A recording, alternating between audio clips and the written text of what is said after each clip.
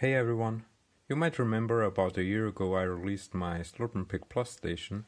You can watch the video right here if you didn't, or there will be a link in the description as well.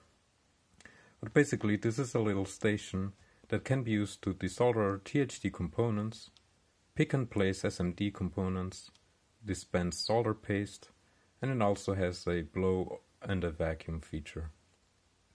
And it can be controlled by a wireless foot switch or you can plug a wired foot switch if you prefer in the back.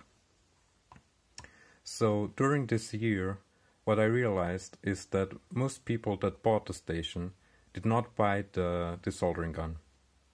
Also most people that bought the station didn't think it was so small, they actually thought it was a really bulky box.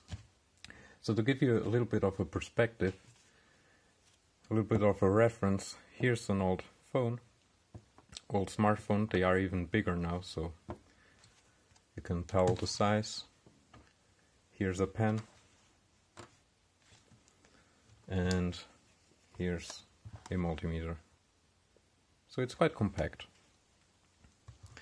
Another thing I realized is that most people that did not buy the station thought it was cool, but expensive.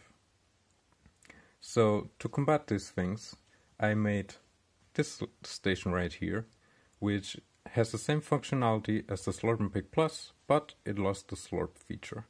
The slurp feature is what I call the desoldering gun, because of the sound it makes when sucking the solder.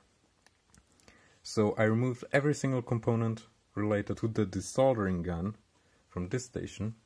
Everything else is the same, you can still pick, dispense, blow, and vacuum.